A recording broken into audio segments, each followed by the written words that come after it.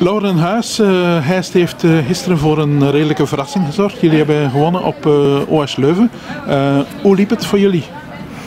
Een verrassing zou ik het eigenlijk niet echt noemen. Voor ons was een wedstrijd aangeduid al voor het seizoen van een van de wedstrijden waar we echt wel voluit gingen ja. voor de drie punten gaan. Dat is ons ook gelukt.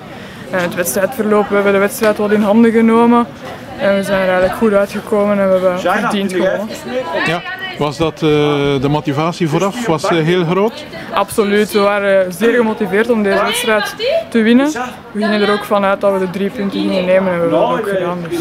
Ja, is een uh, motivatie voor het vervolg, een opsteker vooral denk ik. Zo vroeg in het seizoen die drie punten al pakken.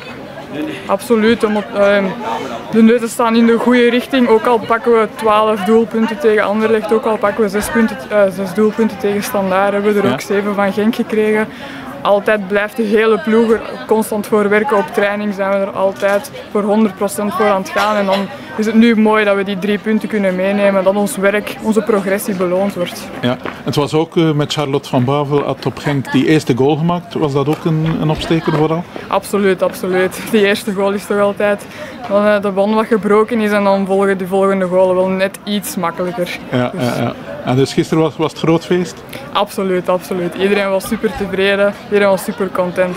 Extra motivatie, dat is altijd welkom. Oké, okay, ik dank je en proficiat. Dank je wel.